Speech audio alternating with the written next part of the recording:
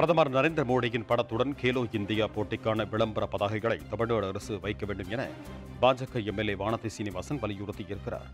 இது தொடர்பாக வானத்தி சீனிவாசன் வெளியிட்டிருக்கும் அறிக்கையில் இரண்டாயிரத்து இருபத்தி மூன்றாம் ஆண்டுக்கான ஆறாவது கேலோ இந்தியா போட்டிகளை சென்னையில் பிரதமர் மோடி தொடங்கி வைத்ததாகவும் இதனையொட்டி கோவை மாநகரின் பல இடங்களில் தமிழக அரசு சார்பில் விளம்பர பதாகைகள் வைக்கப்பட்டுள்ளதாகவும் குறிப்பிட்டிருக்கிறார்.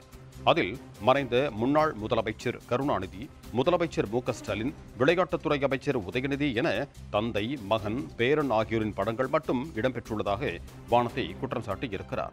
இது பிரதமர் மோடியின் சிந்தனையில் உதித்த கனவு திட்டம் எனவும் கேலோ இந்தியா போட்டிகள் தொடங்கி வைத்ததும் பிரதமர் மோடிதான் எனவும் சுட்டிக்காட்டியிருக்கும் வானதி. கேலோ இந்தியா போட்டிக்கு காரணமான பிரதமர் மோடியை இருட்டடிப்பு செய்திருப்பது கடும் கண்டனத்திற்குரியது என தெரிவித்திருக்கிறார்.